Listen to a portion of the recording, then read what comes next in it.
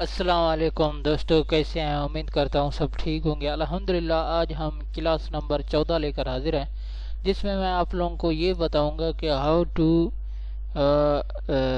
write the in page with Elementor use Elementor use करके हम लोग पेज के अंदर कैसे टेक्स्ट यूज़ करेंगे? सबसे पहले हम लोग ये करेंगे कि यहाँ से आप लोगों को ये ये मेरा वो है। क्या कहते हैं अपना वर्ड प्रेस डैशबोर्ड है।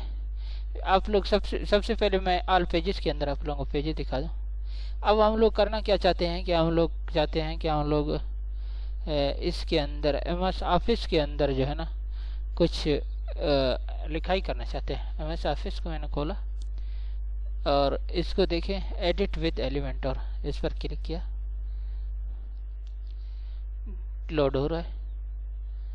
ये देखें लोड हो गया, ठीक है? एम एस ऑफ़िस ये लिखा हुआ है, अब लोग देख सकते हैं। अब हम लोग करेंगे क्या? यहाँ से टेक्स्ट एडिटर इसको जो है ना ले लेंगे।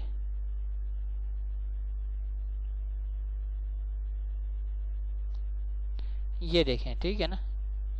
अब हम लोग करेंगे क्या? यहाँ से जो है ना, इस सारे टेक्स्ट को हम लोग डिलीट कर सकते हैं।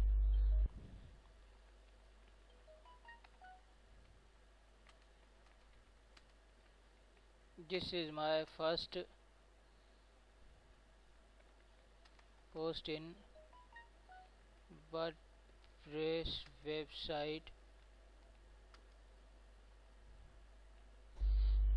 ठीक है, ये मैंने लिखा है, इसको जो है ना मैं कॉपी करूँगा। यहाँ से मैंने सेलेक्ट किया, इसके आगे इसको जो है ना पेस्ट कर दूँगा।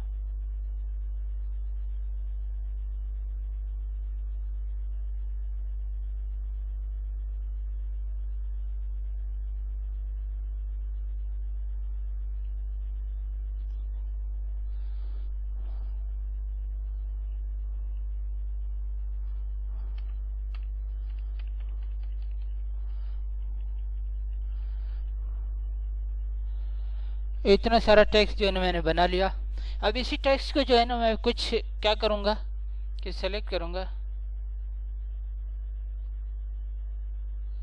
ये वाला टुकड़ा मैंने सेट की सेलेक्ट किया। इसको मैं बोल्ड कर सकता हूँ, ठीक है इसको जो है ना मैं अलाइनमेंट दे सकता हूँ। शिफ्ट राइट है, कुछ भी ये।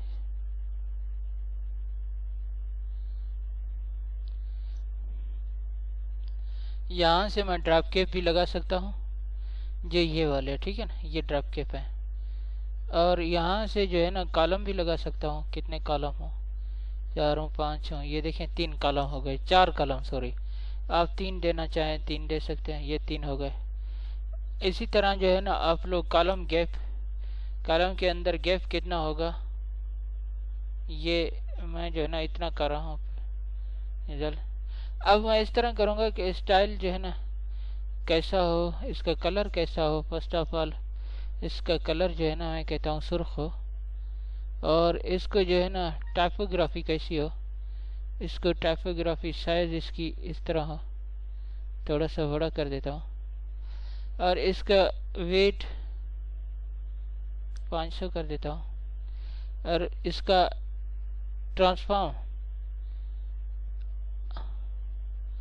upper case lower case कैसा हो? तो मैं इसको कहता हूँ लोअर केस अगर इसको अपर केस देता हूँ कैपिटलाइजेशन और इसको